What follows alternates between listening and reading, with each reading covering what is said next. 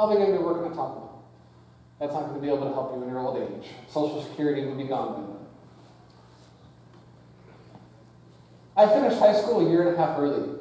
That's how much I, I, I couldn't stand this. It is just a, a great deal of, of time being wasted. I took college classes, summer classes, night classes, and I got out of high school quite quickly. I then went to a trade school and finished a trade school in audio engineering.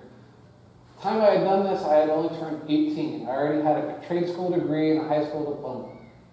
I was already doing more than my family had achieved, more than my mother and father had achieved, but I still lacked discipline. I still lacked order. Just because I turned 18 didn't mean I was an adult. I didn't feel like an adult. I still felt like a kid. I still felt young at heart. I still behaved like a child. I still thought like a child. I wanted to grow up. I wanted to be more. I knew that I had a brain. I knew that I was intelligent. I just was lazy. I was a privileged white kid growing up in middle class America. I never had to work hard for anything. I was lazy. And I wanted that oomph. I wanted that push forward. I wanted to become an adult. Now, back in 2002, I didn't have many options. I didn't come from a privileged family. We couldn't afford the money to send me to something like Arizona State or, or Georgetown or some wonderful school. So my options were relatively limited. I could work at Taco Bell or be homeless. That was the career options that I had. And as I was sitting at home one night, channel surfing, I hear a commercial and it says, Be all that you can be. And it was like a light bulb was going off over my head. That was what I was looking for. That was what I needed. I needed to be all that I could be. I needed to grow up. I needed to step up. I needed to mature reach that adult phase. Be all that I could be. Whoever thought of that slogan, I hope to God that that guy got at least a $2,000, $3,000 bonus that month. Because I guarantee you thousands of people enlisted from that one slogan alone. Be all that you can be. It's simple, it rhymes, it's easy to remember. It's impossible to forget. I woke up the next morning, I was singing that song in the shower. As I'm sitting there washing up, I'm singing Be All That You Can Be. It all made sense. I was going to go to the Army. This was the good thing. This was a good idea. It always looked good on a job application. It always looked good on a resume. It would secure me a career for the rest of my life. I'm going to the Army. Prepared my documents. I got my high school diploma, my birth certificate, my college degree. Went to the recruiters. I walked in and said, Hey guys, I want to join the Army. And the recruiters look at me and they kind of laugh and they say, That's okay. We don't need you. Have a good day. I was a little confused. Walked outside, I lit up a cigarette. and I started thinking to myself, we had the whole 9 11 thing happen. We're going to war with Iraq. We haven't figured that out now. It's been 13 years. But Iraq had something to do with it. So we're going to war with Iraq. Obviously, we're going to need soldiers. Why did the recruiter say no to me? I know I, am an American citizen. I graduated high school. I have a degree. You know, what's wrong? Why did he say no? And when I got home, I looked in the mirror and I realized that perhaps having blue hair and being covered in tattoos as I was and having the piercings that I did wasn't what the Army was looking for. You see, back in 2002, all of the cool kids were joining the military. As a result of 9 11, there was a great deal of patriotism in this country. False patriotism, but a great deal of patriotism. If you didn't have the money to go to college, you joined the service. Some people who had the money to go to college willingly joined the service because they wanted to go and fight. They wanted to go and, and serve their country and defend their country. This is what all the cool kids were doing. So the recruiter looked and he said, Why would I take this guy, this rebel, this blue haired, tattooed, weird kid? Why would I take him? If I just wait a couple more hours, I'm going to get somebody from the football team, or somebody from the basketball team, or the baseball team. I'm going to get a natural athlete. Athletes make better killers. Athletes make better warriors. I'll wait for one of them. I'm not going to take this kid. He looks like trouble. Well, my options were limited. That Taco Bell job started getting worse and worse as days were going by.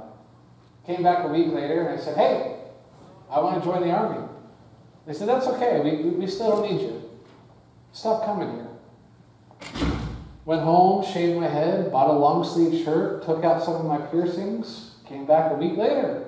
Hey, I want to join the army. Yeah, we know you want to join the army. What do you want to do army? I want to kill people and get paid for it. Why does anybody join the army? I grew up watching G.I. Joe. That's what you do. That's okay. We still don't need you. Fourth time, I go to the recruiters. It took me a month. Fourth time, I go to the recruiters. Hey guys, you know the drill. I want to join the army. Listen, kid, we don't want you. You look like a liability. You look like a chance. You look like a risk. I don't think you're that bright. So here's what we're going to do. We're going to go downtown. I'm going to let you take your ASVAB.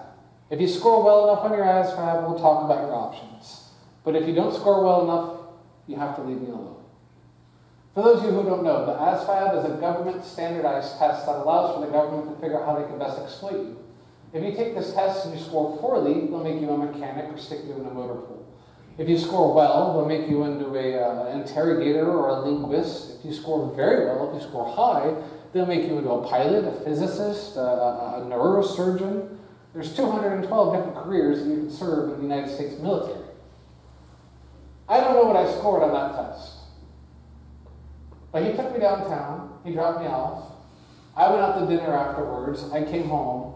And by the time I gotten home from eating dinner, I had two missed calls from my recruiter. He wanted to take me out for breakfast the next morning and discuss my options. I picked, he picked me up. We went out to breakfast. He took me out to a resort. We had a $60 breakfast. I don't know how we managed to spend $60 on breakfast. I mean, eggs, toast, and cantaloupe. How can you, how? How does this come to $60? Arizona has lots of resorts, very expensive resorts. We have more resorts than any other state in the United States, as a matter of fact. He was wining and dining me. He told me that I had scored very well, that I had a great deal of career options available to me. He wanted me to come into the office that afternoon and talk with him. When I came into the office and I sat down, he asked me if I was a basketball fan. I said, uh, kind of. Why? He's like, oh, you know, I got some courtside tickets to see the Lakers playing against the Suns in the playoffs tonight if you want to go. Really? Free courtside tickets? Yeah, sure. I'll, I'll take that. Right on. We started talking. We discussed my options. We discussed how I did on the exam. He told me that I had every career as an option. Told me that I need to think seriously. What is it that you want to do? What do you want to do in this army? How do you want to serve Uncle Sam? Well, I still didn't have much of a better answer than kill people and get paid for it. So I made the mistake of asking my recruiter what job is giving a bonus. When you ask a military recruiter what job is giving a bonus, that's about the sweetest words that they can possibly hear. If somebody looking like me without a beard came walking in right now and said, hey guys, I want to become a Muslim, what do I do? I mean, could, could there be anything better that we could hear? I want to be a Muslim. That would be great. We would all turn, we'd go running. No, brother, just say Shahada, Ashadu an la ilaha You'd be a Muslim, it'd be good for you. We'd be happy about this. That's what it's like for a recruiter. When you tell a recruiter what job is giving a bonus, that's what they hear. They feel good. That's the best ones. For a $2,000 bonus, I became a military police officer in the United States Army. I had no interest in being a police officer. I don't like police officers. I'm petrified of police officers and TSA agents and FBI agents and CIA agents and the NSA or Verizon NSA, because Verizon and NSA have partnering agreements, so I don't like them too much either. Anybody with a badge and a uniform makes me uncomfortable. They, they, they scare me. Because I know what happens when you give a small person a badge and a uniform. Bad things happen. And I'm going to discuss that in great length. I joined the Army in August of 2002 roughly a year after 9-11. I finished basic training in December of 2002. I was stationed in Fort Leonard Wood. I married my first wife in March of 2003. In May of 2003, I found out that I was going to Guantanamo. I didn't think to myself to go home and Google Guantanamo, and if I did, I probably would have spelled it wrong. 98% of Americans put an I in Guantanamo. I don't know why. It's a Spanish word. It's pretty simple to spell, but they put an I in it, and I don't think that I'm smarter than 98% of Americans, so I probably would have spelled it wrong as well. If I had bothered to search for it, I wouldn't have found anything. Guantanamo wasn't in the news back in 2003. Guantanamo didn't exist as far as the media is concerned in 2003. So there would have been nothing on the internet. I would have found nothing. I trusted that my army, my country, would teach me everything that I need to know about how to work in Guantanamo, what to expect, who these people are. They wouldn't send me into a hostile situation without preparing me.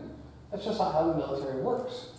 So I put my faith in the Army, and I decided with that little bit of time that I had left, it would be best to invest all the time I could with my wife. I wanted to make sure that I would come home to a stable marriage. I wanted to make sure that I would come home to a wife. She had given up her life in Arizona. She had given up her friends, her family, moved halfway across the country to Fort Leonard, Missouri, which is the methamphetamine capital of the U.S. She knew no one. She was going to be alone for a year. I felt horrible about it. I wanted to make sure that she would be there when I got back. We conducted our training in Fort Dix, New Jersey. I mentioned the location for a number of reasons. Uh, has anybody ever seen Jersey Shore on MTV? Usually people don't admit to this. don't feel bad. It's just, I can ask that question even when we're in Newark and nobody raises their hand. It's like, come on, we're in Newark. None of you guys have seen Jersey Shore? What's the name again? Jersey Shore on MTV. It's where Snooki is. We're conducting this training in Fort Dix, New Jersey, and, and as we're conducting this training, we don't have any criminals to train with. Now, I've seen Jersey Shore. I know there's plenty of criminals in Jersey. It's loaded with criminals. But we didn't have any criminals. So for half the day while we were conducting the training, I would play the role of the detainee. And for half the day, I would play the role of the police officer. Fort Dix, New Jersey doesn't have a correctional facility. So we were training in a fake facility we made out of plastic pipes and PVC.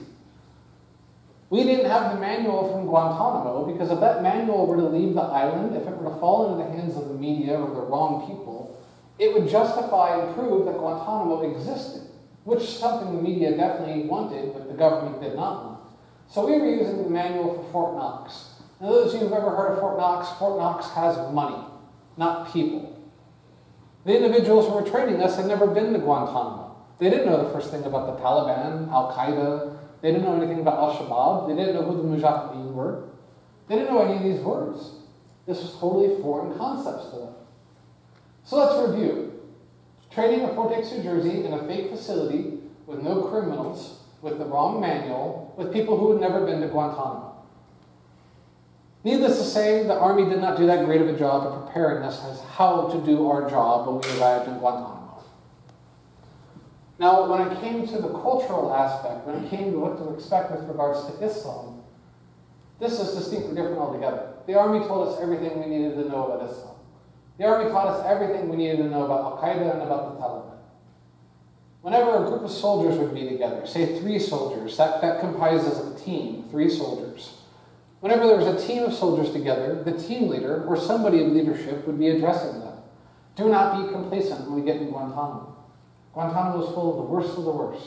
It's full of Al Qaeda and the Taliban. These people hate you and they will kill you.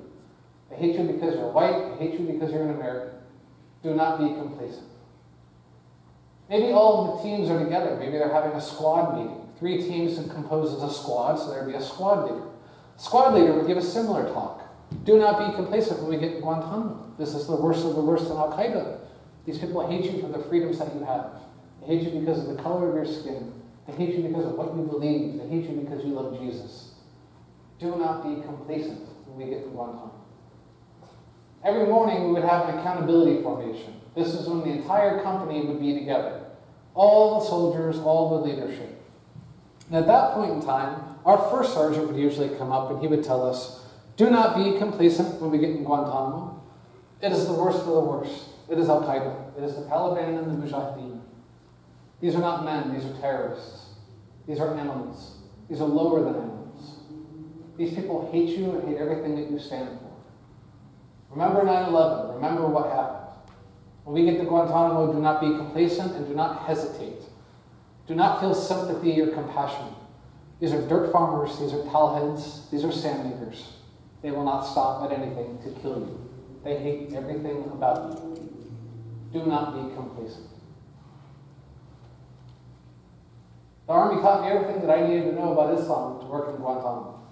That was all that I needed to know. We get on the plane to leave from Fort Dix, New Jersey to fly down to Guantanamo Bay, Cuba, which for all intent and purpose should have been around a nine, 10 hour flight.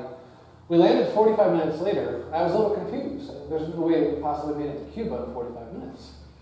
We get off the plane, we look around, and there's all these tall buildings, and it's smoggy and dirty, and there's a lot of food on every corner. And it turns out we were in New York City. Our commander had arranged for us to go to ground zero that day. He went to ground zero to be the last piece of American soil that we saw. He wanted us to walk around and read the comments written on the walls, to see the rubble, to see the destruction and the damage, see the candles and the flowers and the photographs. He wanted us to really soak it in. And as we were getting back on the plane, he reiterated what we had heard many times before. Do not be complacent, men. When we get to Guantanamo, I want you to remember what you saw here today. When we get to Guantanamo, I want you to remember how you feel. When we get to Guantanamo, I want you to remember who we are defending. Think of your wives and your children, your family at home. We get to Guantanamo, I want you to remember the 3,000 innocent Americans that died here for no reason. When we get to Guantanamo, I want you to remember what Islam did to us here. As we were flying down to Guantanamo, I started envisioning what these men were going to look like. I started thinking about what these men were going to look like. I didn't really have a, a fundamental concept of the Mujahideen, the Taliban, Al Qaeda. I didn't know who these people were. I had images from Fox, images from CNN, and a little bit of knowledge the Army had given me. In my mind, I was picturing these men with prolific beards and giant swords, and they were all going to be on horseback. No matter what way they would turn their head, the wind would always be blowing into their beard. I was expecting Charlton Heston and Anthony Quinn. That's what I was thinking I was going to get when we landed in Guantanamo. What I got was distinctly different. We landed, and as we were coming off the plane, the very first thing to hit you is the realization that you are under the Tropic of Cancer. It is hot. Guantanamo is about 100 degrees year round with 100% humidity, oceanfront property. Make no mistake about it, it is hot. The next thing that hits you is the smell of Guantanamo, particularly the smell of Camp Delta. You can be about 50, maybe 75 feet away from Camp Delta when you start to smell the camp. Camp Delta is where the majority of the detainees are housed. 780 Muslim men from 46 different countries. Now, most of these men, if they're lucky, get to shower once every two weeks. If they misbehave in the slightest, the very first privilege should be taken away from them is the right to shower. We do this in Guantanamo. We take away the right to shower so that if a detainee needs to make ghusl and he can't, then the detainee can't pray. If the detainee can't pray, then we break his spirit, we break his deen. And if we break his deen, he will share with us all the knowledge that he knows. He will tell us where the weapons are. He'll tell us where the training facilities are. He'll tell us where the leaders are. He'll tell us where the caves are. This is the information that we want, and this is the way that we go about getting it. The smallest infraction, the slightest breaking of a rule, you even look at a guard the wrong way, the first privilege you lose is your shower privilege. Many of the detainees shower once a month. If they are fortunate, they shower twice a month. So you have 780 men who are not being allowed to bathe. These men are living in a 100 degree temperature, 100 degree humidity, and for lack of a better description, they're cages, they're kennels. Camp Delta is really nothing more than, than kennels. It's aluminum siding and concrete blocks. I don't know where the billions of dollars that we've invested have gone to, because it certainly didn't go into building this facility. These men are cooking in these cages 24 hours a day.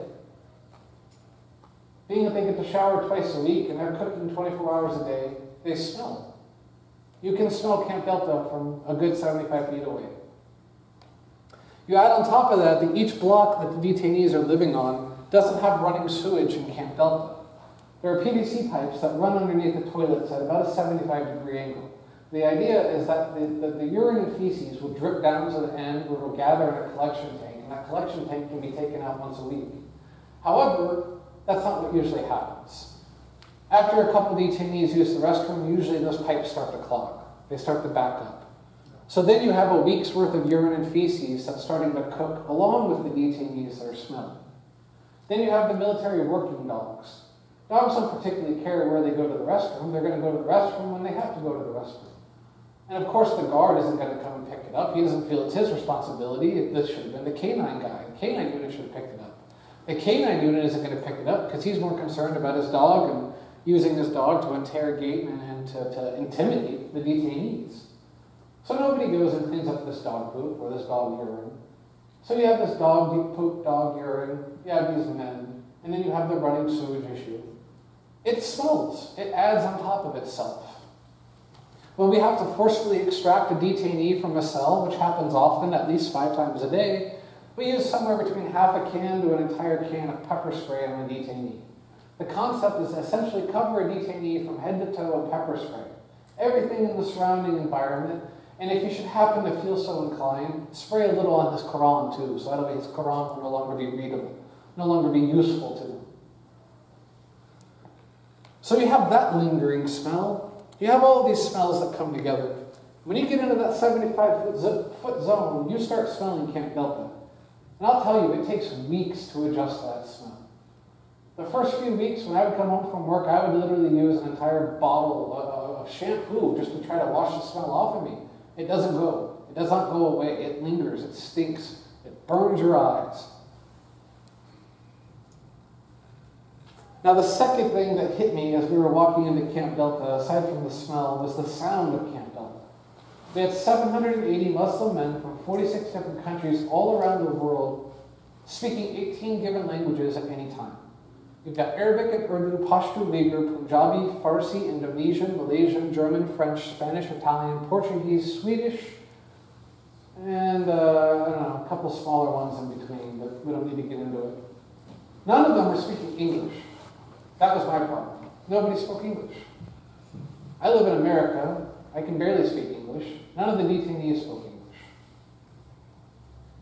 As we were going through this tour, we're seeing these men. We're seeing these men that are in these shackles. We're seeing these men that are being tortured and abused. They're being yelled at. They're being degraded. And I start hearing something familiar as we're walking down one of these blocks. It sounds like a song that I've heard in the past. As we walk onto the block, I realized that it was a detainee who was singing Eminem. From the top of his lungs, this detainee was singing Eminem. And it went contrary to everything that I knew about Islam. At that point in time, I thought to myself, wait a second, hold on. Muslims hate America. Muslims hate white people. Muslims hate freedom. Muslims hate Christianity. Muslims hate music. Muslims hate everything that's fun about life. What's this guy doing rapping? I mean, certainly he can't be rapping. Muslims have to hate rap music if they hate all these other things. So as we passed by a cell, I asked him, hey you, what are you doing rapping? You're not allowed to rap, you're a Muslim. You guys hate rap, you hate music, you hate freedom and all the good stuff about life. What are you doing rapping? I wanted an answer. I wanted to know, why are you rapping? And in broken English, he explains to me, when he goes to interrogation, the interrogator will play the same song on repeat for six hours, 12 hours, maybe 18 hours, however long until he defecates himself. And once he defecates himself, the interrogation begins. I came to learn he was part of a sensory deprivation, sensory stimulation interrogation. What this means is that he'd be taken into the interrogation room and he'd be shackled to the ground in a stress position. This position is meant to induce muscle atrophy, muscle failure. As he is left in this position, there would be a strobe light put in front of his face, that would be in no way, shape, or form he could turn his head well enough to not see. They'd be blasting horrible music, whether it was Slayer, Godsmack, DSI, Cannibal Corpse, uh, Eminem, Celine Dion, Disney soundtracks. Whatever it was used was being used on repeat for the entirety that this would happen. He'd be left in this position with this music, with the air conditioner set to 40, being covered in a bucket of cold water periodically, to create such an environmental stimulation that his body would ultimately shut down and he would defecate or urinate himself. And when that would happen, the interrogator would come into the room and emasculate him and put him down. Tell him how he wasn't worthy of fighting for the Mujahideen. Tell him about how he wasn't worthy of fighting in the cause of Allah because he just defecated himself like a child. That's when the interrogation would start. This had been happening to him for years when I arrived at Guantanamo. His idea was that if you learn the words to all of these songs, which isn't very difficult to do, you listen to the same song for 18 hours, you're going to know the words. If he learned the words to all of these songs and started singing them when he went to interrogation, the interrogator would get upset. The interrogator would realize that it wasn't working. He went to interrogation a few days later. He started singing Eminem. The interrogator got very upset. The interrogator punched him a few times, kicked him in the ribs, punched him in the stomach, sent him back to the block, and said, That's it. I'm not, I'm not doing this anymore. We're done. We're going to find something else to do. So the plan worked. The interrogator stopped using that method. Unfortunately for the detainees in Guantanamo, that lovely Donald Rumsfeld who we were discussing earlier, Skeletor. that you guys might not get that. It's a He-Man joke. You have to be at least 30 to get this one. Skeletor. Donald Rumsfeld, when he wrote the manual for Guantanamo, the SOP, he wrote it in very gray terminology. What I mean by this is, um, well, let me just give you an example. It is acceptable to use any phobia that you may find from a detainee to exploit that phobia for the purpose of intelligence gathering during interrogation. Can somebody tell me what I just said? You can scare them in any way in order to get the information. To what limit?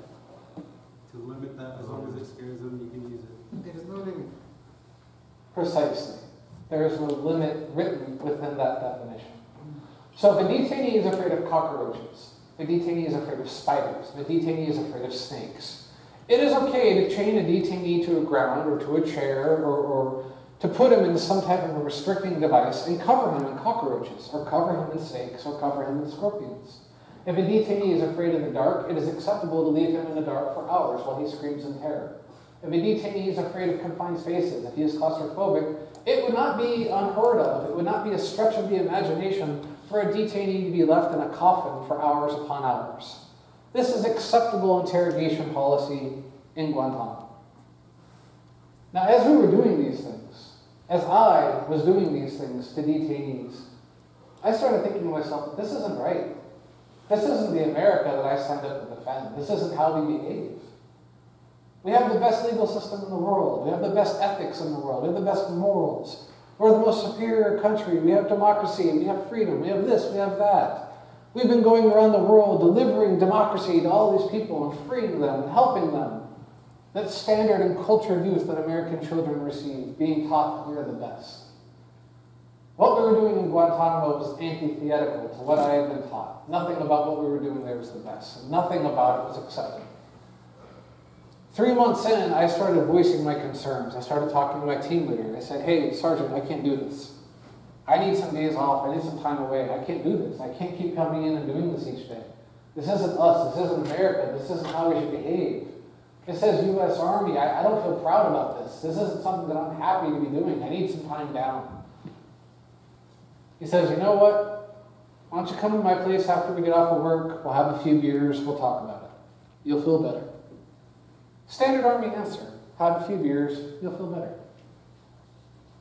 A couple of weeks went by, I didn't feel better. I went to my next level of leadership. I went to my platoon sergeant. Sergeant, you know, I, I can't deal with this. I'm, I'm starting to think about suicide. I'm not happy. I need to get out of this environment. This place is miserable. It's bringing me down. It's draining me. I need some help. What can I do? Please help me. This is not us. This is not how we should be behaving.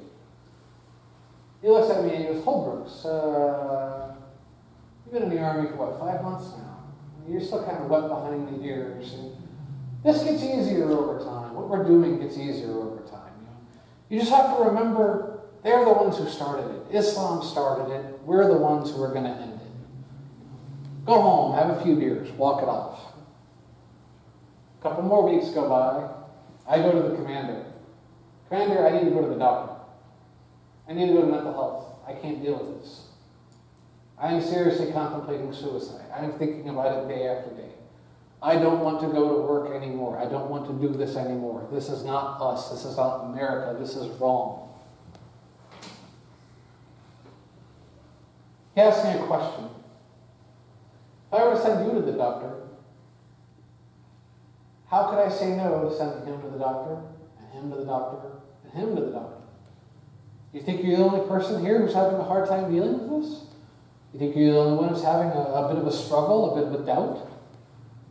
I can't send you to the doctor. If I send you to the doctor, I got to send everyone. And then half my unit will be gone, and then we can't accomplish the mission. Why don't you go home, have a beer, drive on? Standard Army answer have a beer, drive on. Within three months of being in Guantanamo, 75% of my unit was an alcoholic. We had all become alcoholics. We become alcoholics because we needed to drink to sleep. We needed to drink to not have nightmares. We needed to drink to escape our guilt. We needed to drink to escape our shame and the grief and the misery that we were carrying with us. And we would do this day after day after day. Three months into Guantanamo, my entire unit was miserable. Those of us who were alcoholics and those of us who weren't, we were all miserable. We only had to go to work for eight hours a day. After that eight hours, we could leave. We weren't being tortured and abused. We could go home and shower, we could bathe, we could eat whatever we wanted, we could watch whatever we wanted, we could play video games, watch movies, distract ourselves, free our minds. But we were all miserable. And then I go to work and I see these detainees. They're being tortured and abused. They're having these horrible things done to them. But they're still getting up and praying. They're still getting up and believing that somewhere in this universe there's a God that cares about them. Somewhere in this world, somewhere in this, this infinite creation, there's a God, and God wants good things for them. It blew my mind. You're in Guantanamo. You're going to die here. How can you possibly think that there's a God that cares about you? Was agnostic. I believed in a God, but I did not believe that God cared about me. I decided that I was going to start asking the detainees, how can you believe that God cares about you? How can you possibly believe it?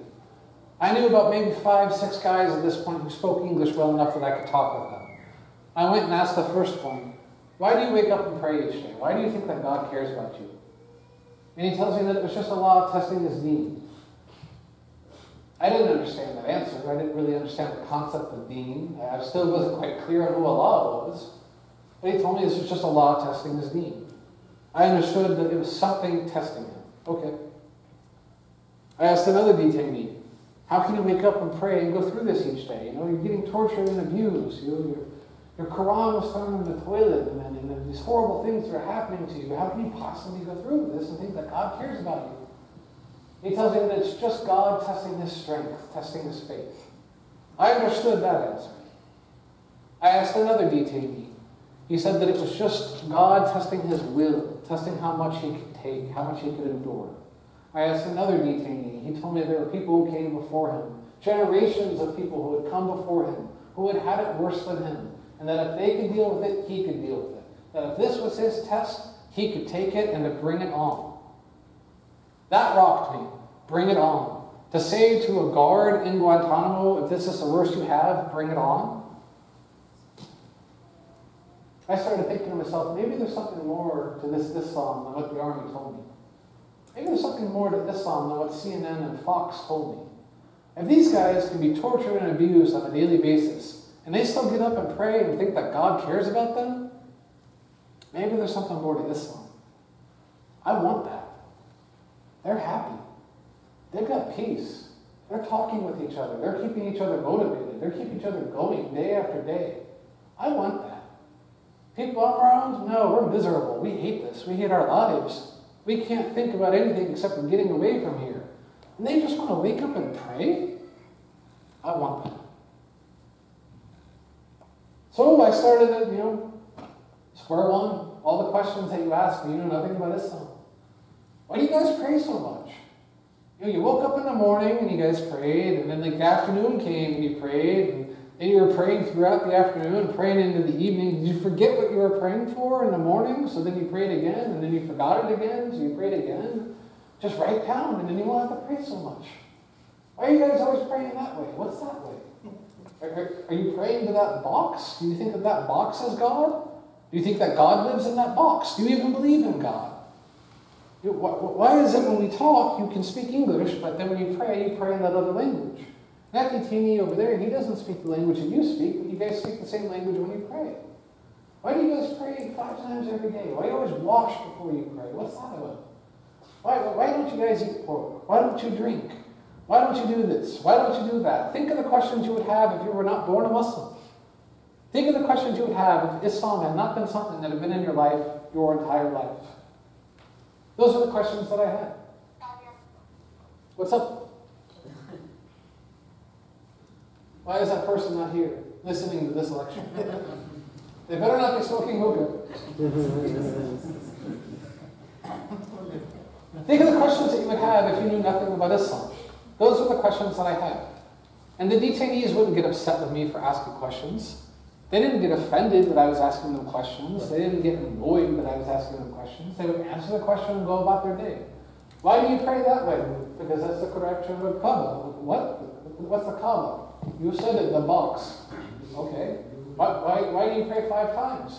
Because we're supposed to pray five times. Okay. But why do you pray in this language and he prays in that language, but you guys speak different languages all the rest of the day? Because we're supposed to pray in Arabic. Well, why? And I would ask these questions and they would answer them. They wouldn't get angry or upset. They would just answer the question and go about their day. They wouldn't go into dawah mode. They wouldn't go and tell me about how I should become a Muslim. Oh, brother, you, you should say Shahada. You should become a Muslim. It'd be good for you if only you knew. No, no, no, no. They wouldn't do anything like that. They would just answer the question and go about their business. Because they didn't care if I became a Muslim or not. They just wanted to wake up and live their deen. If they could wake up that day and make their five prayers, it was a good day. That's all that they needed. That's all that they wanted, was to wake up and make that five prayers. They could be tortured and abused. They could be stuck in a coffin. They could have insects crawling on them. They could be defecating themselves. They could be covered in pepper spray. They could be shown photos of women whose heads had just recently been blown off and be told, Your wife is dead. If you want to go home and bury her, tell us the information and we'll send you home. They can be shown photos of children who've been decapitated, children who've been maimed and injured and walked on explosions and landmines and be told, Your children are dead, your family's dead. If you want to go home and take care of your affairs, tell us your information and we'll send you home. They can go through this day after day after day. And as long as they can get up and pray, that was all that they needed. One particular detainee who I've been having very long conversations with, a brother by the name of Ahmed Yarchi. He was a Moroccan-born detainee. Mark my words, when we're done and we're asking questions, somebody's going to ask me where was uh, Ahmed Yarchi from. He was a Moroccan-born detainee. Ahmed asked me to open up the bean hole in his cell. I was like, I, I can't open up the bean hole. It's, it's not time for food. We're not exchanging laundry. Why would I open up the bean hole? The bean hole is about this big. It's where we serve food and enter a door or exchange laundry or anything we have to give or take from a detainee. He tells me that he wants to give me the Quran. I didn't have an interest in that. I, I didn't want to take the Quran home. I was happy just asking questions and getting answers. But he tells me to take it home and read it. He said it'll answer my questions. It'll help me understand. It'll give me a better perspective about things. So I looked to my left. There weren't any guards? I looked to my right. There weren't any guards? All right, okay, we can do this. I open it up, I take the Quran, I, I put it underneath my, my, my blouse, go walking off the block, I put it in my backpack. I took it home, and I started reading it that night.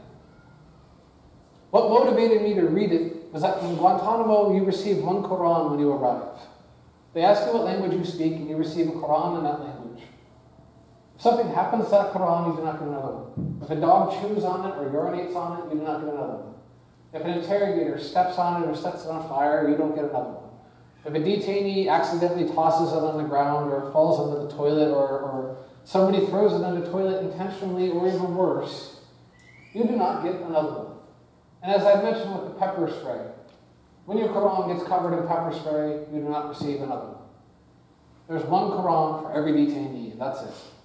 For him to give me the Quran, in my mind, meant that he was going to die without a Quran. It meant that much to him that I read it. So I started reading it. Read it the first night, I enjoyed it. Read it the second night, I enjoyed it. Read it the third night, and I enjoyed it. It was the third night when I was reading it that I came to this realization. It was the first time I had ever read a religious book in my life that made sense. From the beginning to the end, the Quran is the easiest religious book to read. It is an instruction manual for living. There's no mysticism or magic or fairy tales or man made nonsense. Just instructions. Here's you, here's Jannah, here's how to get there. Easiest religious book, hands down. Once I had finished reading it, I decided that I wanted to take Islam for a test drive. I wanted to try it out. I wasn't ready to become a Muslim yet, but I knew more about it. I wanted to take it for a test drive. First habit that I tried to change in my life was the amount that I was drinking. I stopped drinking a bottle of vodka each night after I got off of work, and I started waking up without a hangover. And as soon as I started waking up without a hangover and going to work and being able to think clearly and, and deal with what we were doing, dawns on me. That's why those Muslims don't drink. I get it. That's why it says, you know, that's it. I get it. You don't drink, you think, you feel better, you live better. That's why those Muslims don't drink. Next habit I changed was I tried to stop smoking two packs of cigarettes a day. I tried to just cut it down to a few, you know, when I was having a really bad day, a really stressful day, maybe just have one or two cigarettes, but not two packs. cut my smoking down, I start running faster. I start feeling better. I can do more push ups. I can run two miles more quickly. My PT score improves. I end up getting promoted. I get it. That's why those Muslims don't smoke. You don't smoke, you're more healthy, you can do better, you're better physical fitness. That's why those Muslims don't smoke. Why some of the Muslims don't smoke. They got it going. I get it. Man, I'm, I'm liking this. Change your diet, you know. Stop having a steak and ribs for dinner. Stop having three baconators. Stop having a meat lover's pizza. Stop having all of the food that I was eating. Maybe have vegetables. Maybe have fruit. Maybe take care of yourself, you know. Drink the right amount of water. Get a good amount of sleep. Think about things that are healthy instead of all the negativity that I've been obsessing and consuming myself with. Each one of these steps that I was taking towards Islam, my life was getting better. I was feeling better. Each one of these steps I was taking towards Islam, Allah was taking many steps towards me. Finally, December, we've been there for six months. December comes and I decided that I wanted to become a Muslim. I didn't know how to become a Muslim. I didn't know what I had to do to become a Muslim. I just knew that I wanted to be a Muslim. I've been living like a Muslim would live for two months maybe at that point, and, and it felt right. It felt natural. It felt like the way things are supposed to be. I wanted to be a Muslim. I decided I wanted to find Brother Errachidi. I wanted him to help me. I wanted to become a Muslim, I wanted him to teach me what I had to do. I went to work that day, and I typed in his name in the computer, he wasn't there.